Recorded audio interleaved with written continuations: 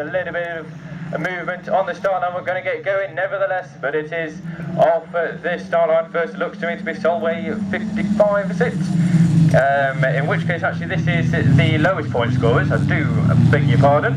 So leading the way, it is Harvey Johnston then, or is it? Because the Stroud 102 comes through. That's uh, Tyler Bayard in that one. Then we've got uh, fellow Stroud car, Stroud number 57, uh, Billy Gardner. Both of these uh, non-point scorers in the first run, but just goes to show he's out there leading the way now in the Solway number 55. Harvey Johnson, at sixth place in the first run. He's battling hard though because he's got the Stroud 102 of Tyler Bayard. He needs the points putting on the board, and he's looking to do it well with his second place. We've got Scarborough. Uh, Stroud 56, sorry, Severn Valley 52. Shayna Jones is there as well, and Molly Booth in the star number 48. There, your runners and riders over these six laps.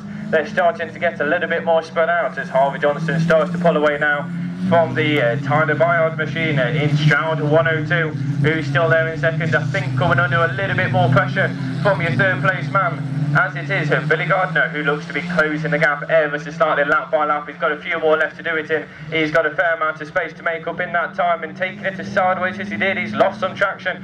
That's not doing him so much good because Shine, uh, Shania Jones now in the Severn Valley 52 is uh, now hot on his tail in uh, the Severn Valley car. A couple more laps left to go then. Harvey Johnson still leading the way in Solway 55 time, but he's Bayard in the Stroud 102, safe in second out the minute.